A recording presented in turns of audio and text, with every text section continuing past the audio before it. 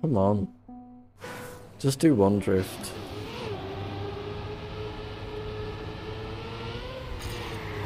There we go.